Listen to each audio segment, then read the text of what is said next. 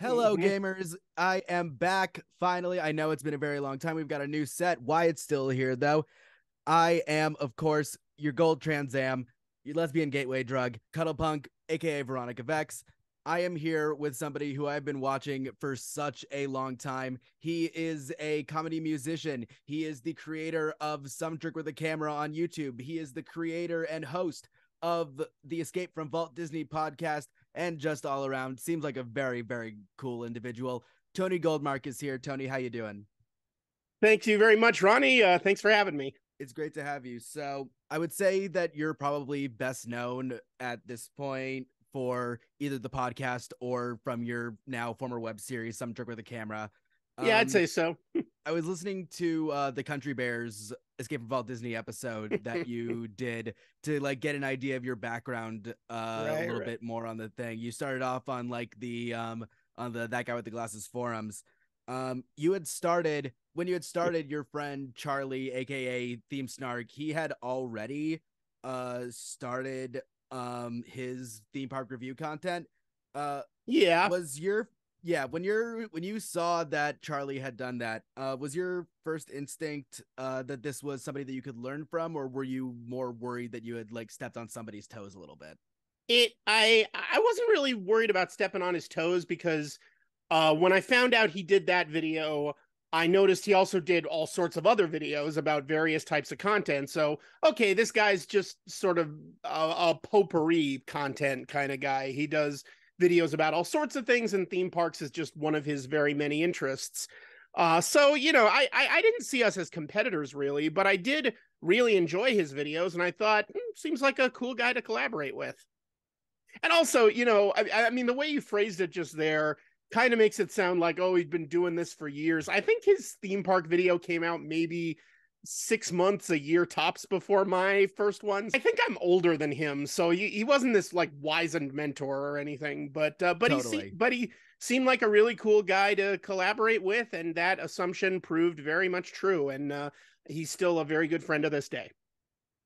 That's awesome. That's really great to hear. I always love hearing him and Haley on the podcast whenever they show up. Oh, they're great. Uh, they're great. So I became a theme park nerd because of your stuff. I had never really I'm not a huge yeah, I am not a huge roller coaster person. That's mostly what I thought of theme parks as for the most part.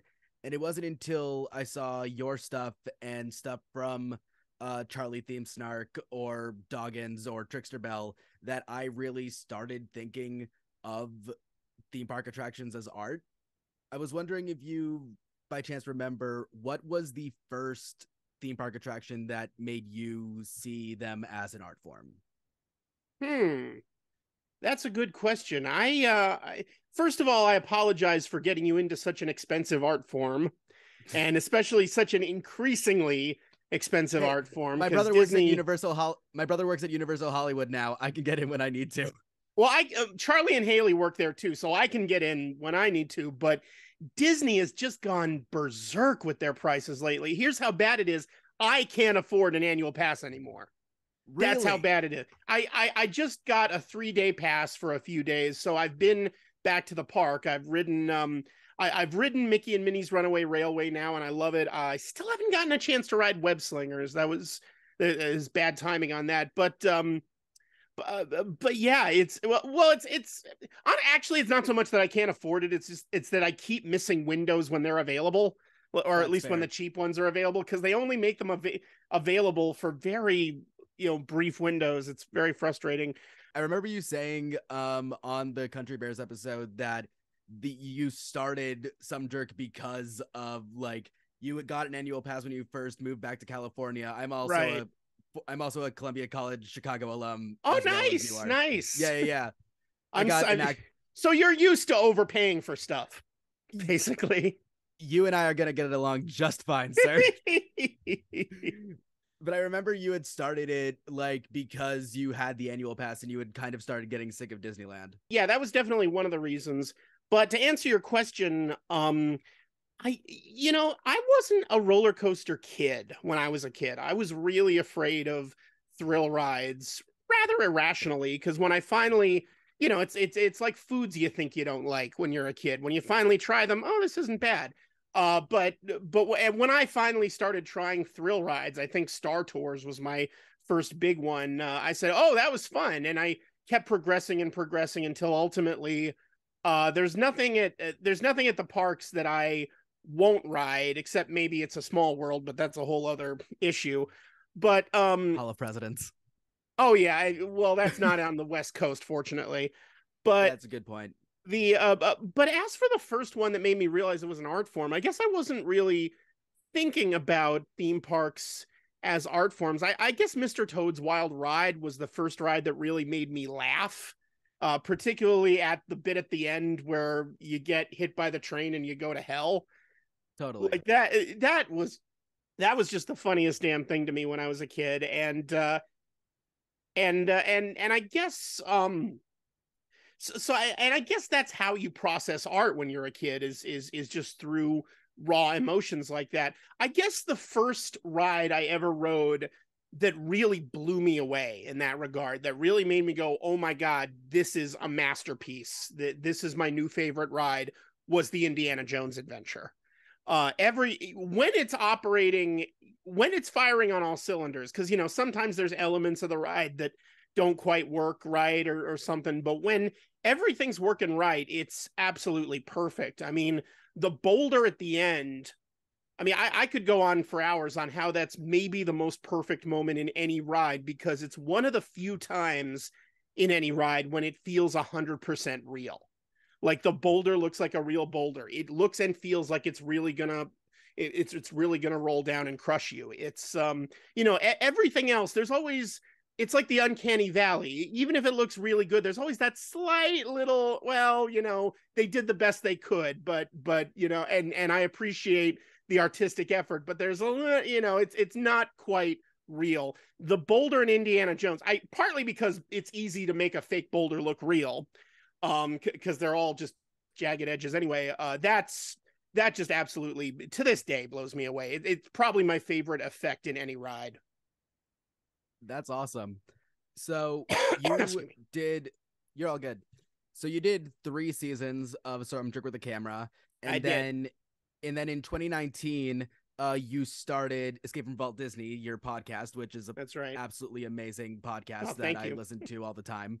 Um I imagine because I remember when you first launched it, you were still doing stuff like um like one movie later's or like theme park review videos. I remember the Star Wars Land video definitely came out around that time. Um, and then you, I, mean, did... I think a couple months before the podcast yeah. launched, but yeah. And then you obviously still did the uh, Princess and the Frog video, um, but that might right, have been right. during the hiatus. Well, that was during the pandemic, so you know, right? What else was I going to totally. do? That's a great point.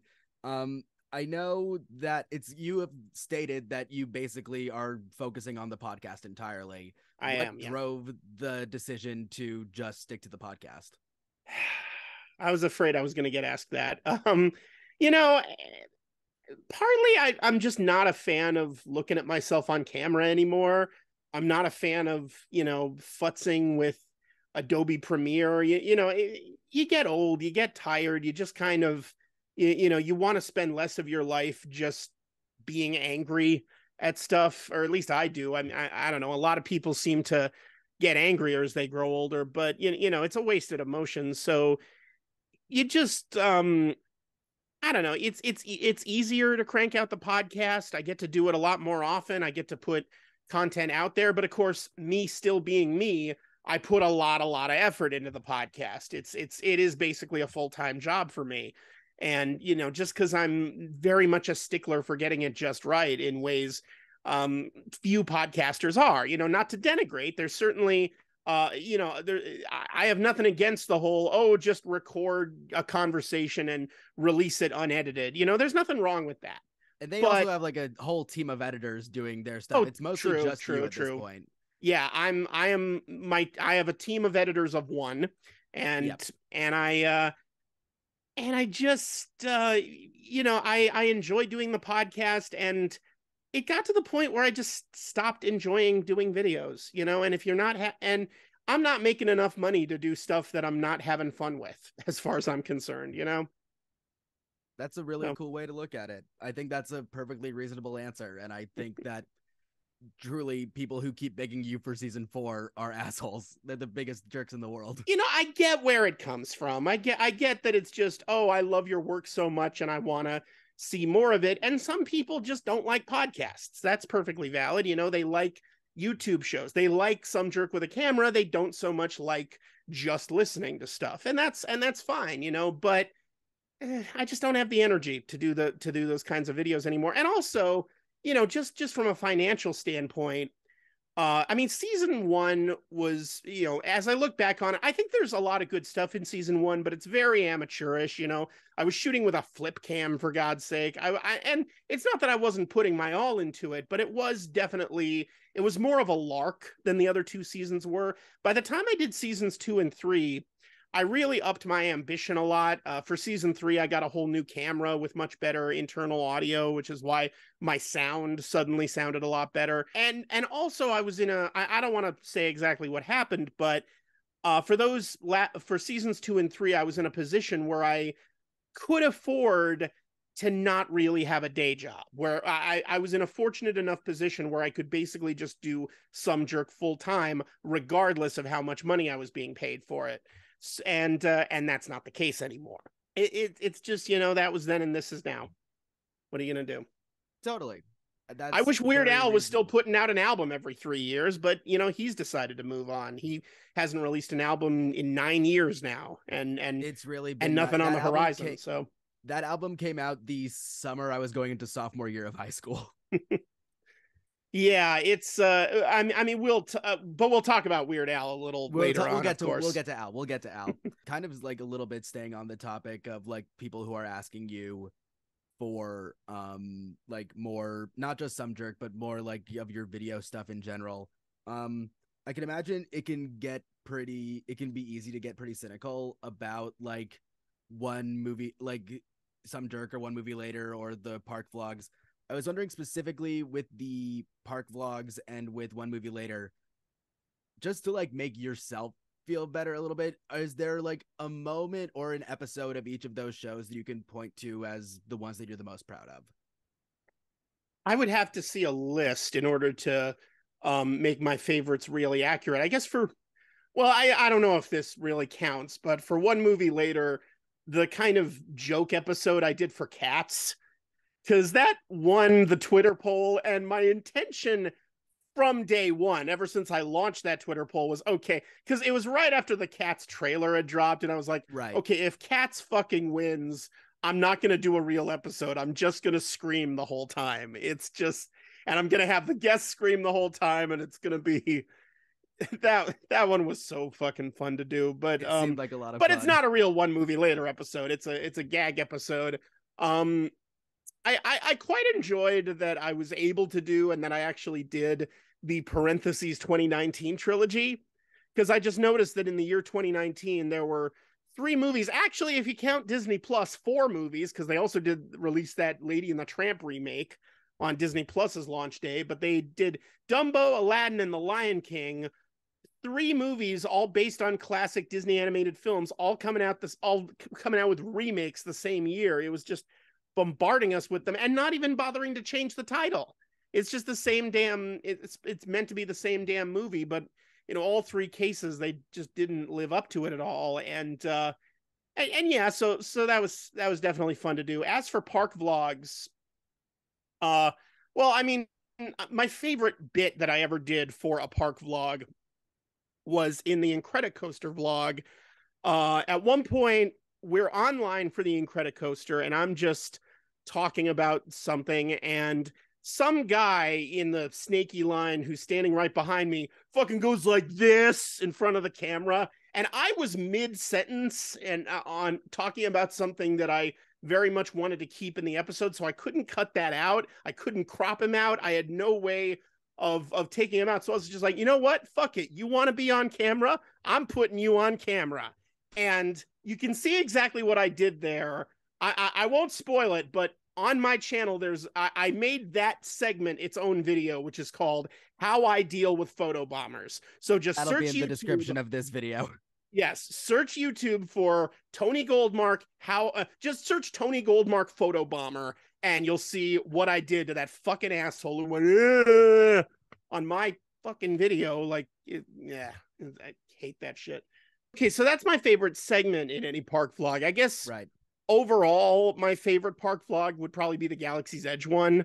Um, I, I feel like that's probably the best edited of them all, all, and the one I had the most fun with in editing, especially a bit towards the beginning where I explain why I've disabled the comments on the video, which was also a lot of fun to make. I, I I've done that like three or four times throughout some jerk is just making fun of old 50s educational films because it's just they, those are just so much fun to make fun of. They're they're so ripe for it. I've done them myself in Oh, yeah. uh in like stuff for my videos. It's the so much fun to just do that voice, like you know, here, 1977, one year after the blah blah blah. blah, you know. Dateline, NBC. Dateline, exactly, exactly. I was so, I was so excited to see that vlog specifically because I was living in Los Angeles for that whole summer and was able to experience uh, Galaxy's Edge the uh summer it opened. So that was With like, very light was- crowds, I'm guessing. Yeah. Unless you were an annual really pass weird. holder, of course. It was. Yeah, I would. Well, yeah, yeah, I can imagine. Going. I mean, I, I, mean, what what really sucked about um about how all that went down was that Rise of the Resistance wasn't ready, and Rise of the Resistance was the real pièce de résistance of all of Galaxy's Edge. Like that is like Millennium uh, Smugglers Run's pretty good. It, it's it's fine for what it is, but Rise of the Resistance was the real absolute masterpiece behind. You know th- that was the reason to build a Star Wars land uh, in the first place, as far as I'm concerned and it wasn't ready yet by the time summer 2019 rolled around so you know people just people were only seeing an incomplete land which you know is not unheard of. I mean the same thing happened with mickey's toontown back in the 90s uh, roger rabbit cartoon spin didn't open till like a year later but um but still it, it that always sucks when that happens because it's like oh the real reason you should be here isn't ready yet. What are you gonna do? So one of the things that I've loved about Escape from Vault Disney is the show has kind of become something of a safe haven for what I like to call trans pop culture talkie people. I've certainly noticed how many people like that are appeared on your show have been trans, or even some people who have appeared in your stuff have come out uh, in the like later on when the podcast has been going on. sure Um, sure Has it become an intentional thing to want to platform trans or otherwise LGBTQ plus people, or is it still like, is this not like a pattern you've noticed and it's just been basically a massive coincidence? I wouldn't exactly call it a conscious effort to highlight LGBTQ voices, but um, but you know, I am very, I, I do, I am hopefully a, a, a, a trans and LGBTQ ally. So you know, I don't see any reason not to have them on, and especially you know, the only people I would restrict from being on my podcast is uninteresting people. You know, people who would just don't have that charisma on mic and I mean, I mean, you you you you probably know what I'm talking about. Although you Yeah. you interview musicians and such, so so I'm guessing they all at least have some stage presence. But I would You know, so. some- I I do have a couple of friends who you know I I I think the world of them, and and they've been very good friends to me. I've never had them on the podcast just because I don't think they have that. I I don't I just don't quite think they have that charisma about them. And it's nothing personal. It's just you know uh, it, it- it's just I want my show to be as accessible as possible, and I want it to be as entertaining as possible to as broad an audience as possible. Um, but I'm but I'm not going to appeal to bigots and say you know oh I'm not I don't want trans people on there because you know people might you know threaten to tear down the Target racks in my apartment. I don't know. It's you know I I, I just think that shit's cowardly and uh, and I and I thoroughly believe in trans rights and you know why not have your trans friends on if you got them you know it, it's uh i can't think of any uninteresting trans people i know because uh um I, I, it comes with the territory a little bit. I won't lie. it kind of does yeah which i think is why the right wing hates you you folks so much is, Trauma is does make you funnier. It's just a fact of life, and I'm sorry Well- for. I'm not sorry for well saying. no it. but also uh on you know from the the other flip side of that is conservatives are so desperate to be interesting. Have you noticed that they they are completely thoroughly uninteresting people and it kills them inside. They they they are jealous of how interesting you are. that's the that's the quote from Tony Goldmark. Conservatives are jealous of how interesting trans people are. That's gonna they really. Be, I that's, I I don't even mean that as a joke. I truly believe that, at least subconsciously. You know, I appreciate that so much. Your content has gotten explicitly more political since 2016, since that first Hall of Presidents State of the Parks. Um, yep. With you're talking much more not just about politics in general, but it's specifically the political and like more business sides of the Disney machine, with especially specifically through the state of the parks bits on Escape from Vault Disney. Has it been harder to? You have basically completely associated your brand at this point with the Disney company. Has it been hard to like continue to associate yourself with that brand, particularly during the Chapek era? It uh, wasn't always easy, I'll tell you that. I, I know I've done a couple of segments uh, on my show after Disney does something especially heinous, where I'm where I'm like, uh, I'm I'm sorry I do this show. I'm sorry I I tacitly promote Disney products. It's it's it's just kind of what I fell into. I, and I mean, even now, you know, Disney just fucking deleted all that goddamn content off Disney Plus for a tax write off it's the shittiest thing to do to the fans. It's it, it, I, I hope it bites them in the ass the same way, you know, setting such a high price on Galactic Star Cruiser did.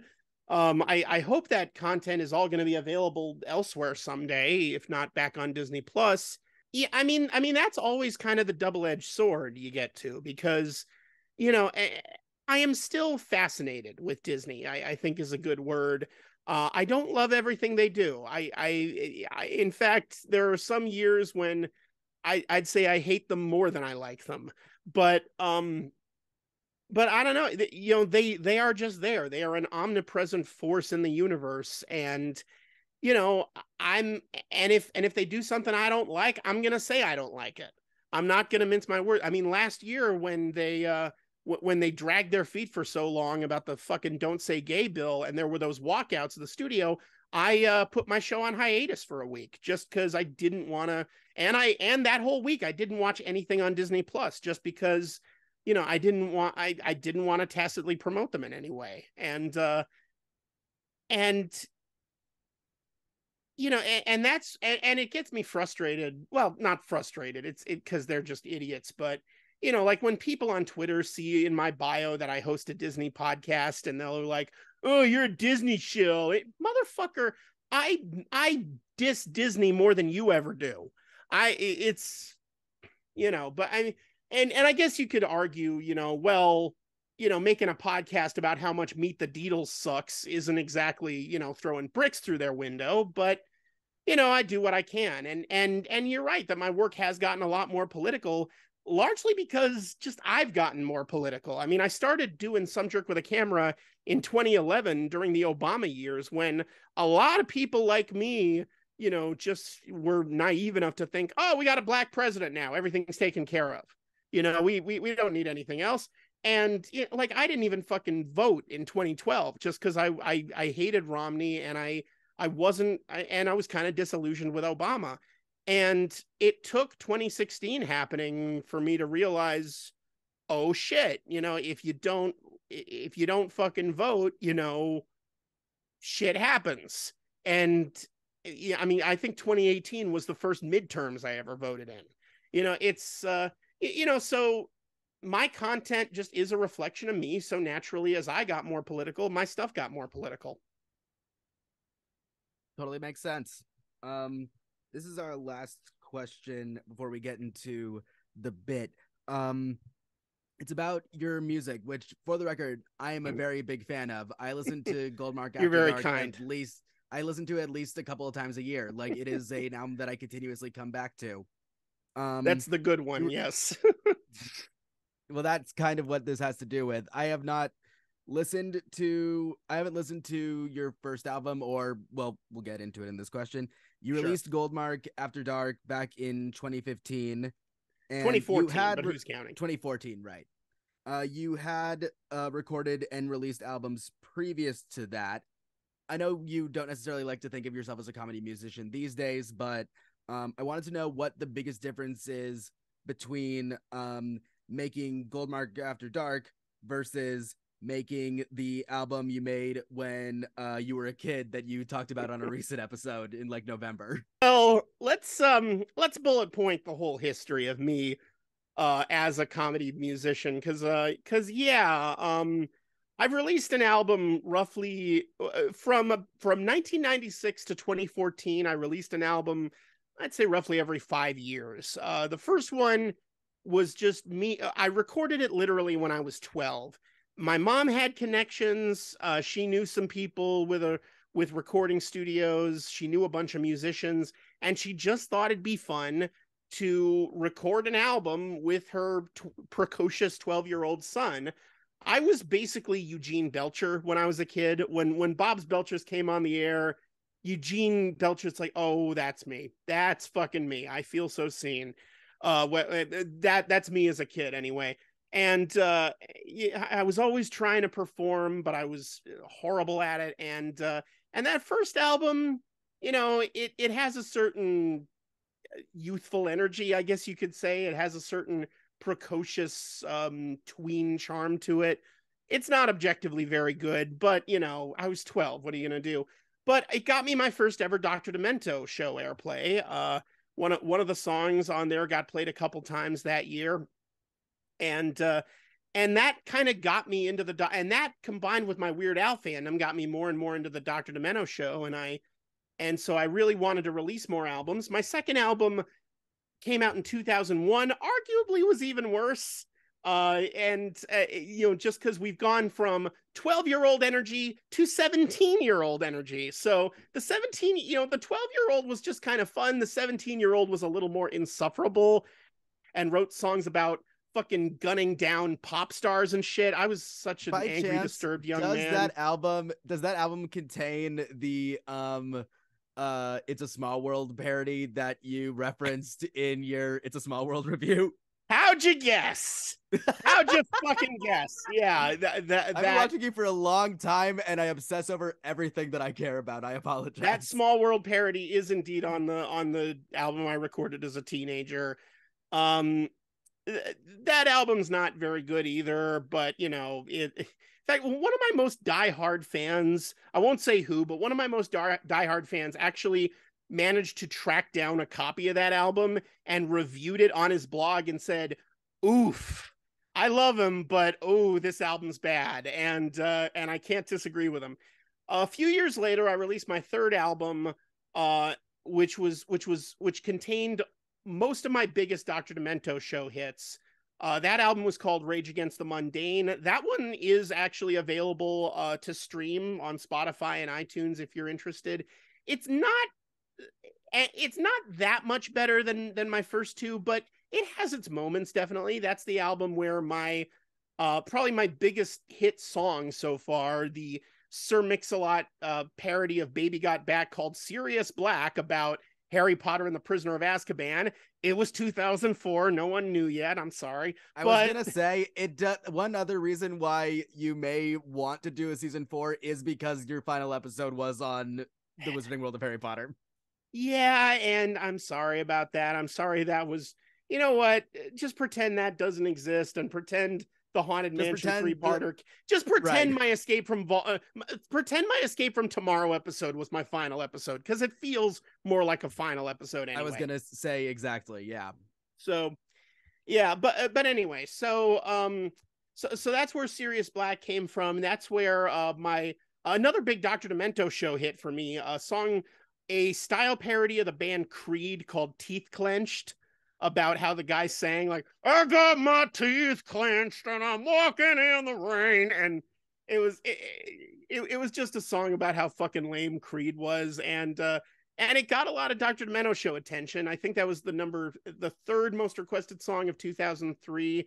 Sirius Black was the number two most requested song of 2004, and um, and then shortly after that, uh, I was I was good friends with Luke Ski at the time, and I and I am now, but there was a period in there where I had a really stupid falling out with him for stupid reasons that we don't need to go into. I eventually patched things up and we're very good friends today, but um my uh, my fourth album that came out in 2009 uh you wouldn't even know it was my album because for re- for also very dumb reasons that I'd rather not go into, I decided to call myself Flying Like Wilma.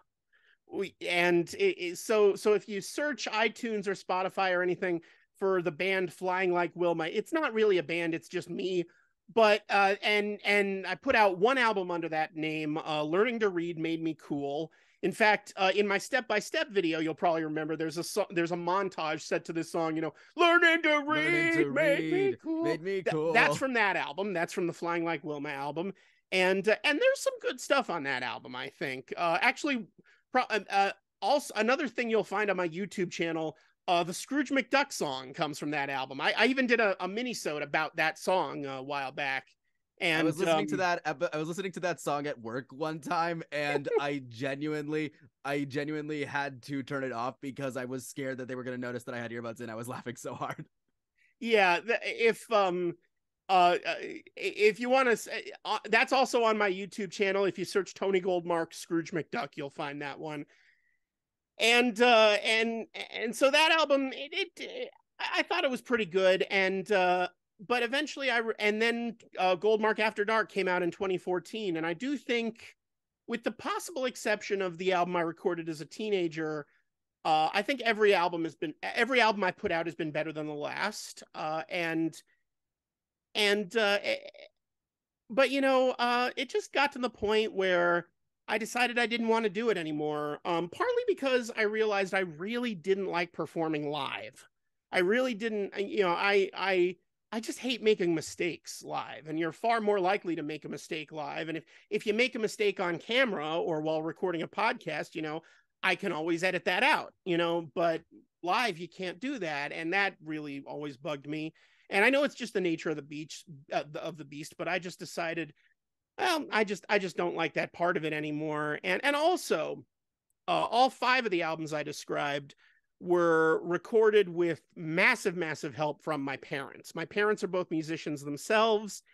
You know, I am, I guess you'd call a nepo baby technically, and uh, and you know and and you know my all five of my albums were either produced or co-produced by at least one of my parents and it just got to the point where you know it, it's not even that i don't like making these albums it's just that I, I i think i've finally reached the age where i just want to make i just don't want to make stuff with my parents anymore.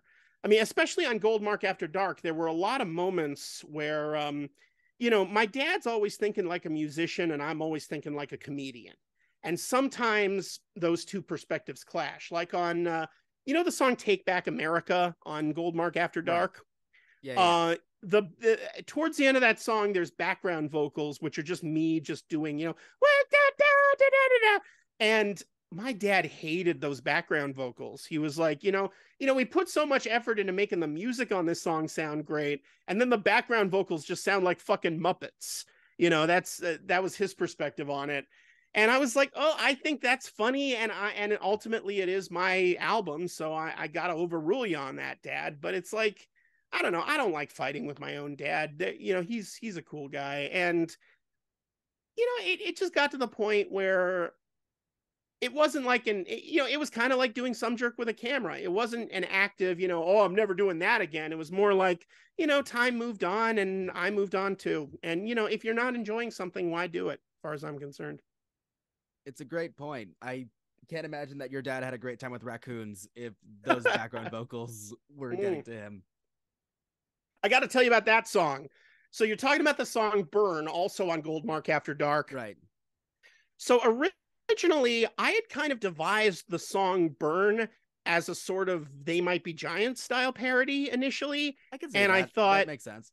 Yeah, and, and I thought, you know, uh, da, da, da, da. Uh, but but like they, but like if they might be giants attempted surf rock, like like I always in my head I always pictured John Linnell singing the lead vocals of that song, but I realized, but but when we recorded it, um, I realized we were pitching the song at the wrong key. We were pitching the song at kind of a high pitched John Linnell key. And when I tried to sound like John Linnell, it really didn't sound good.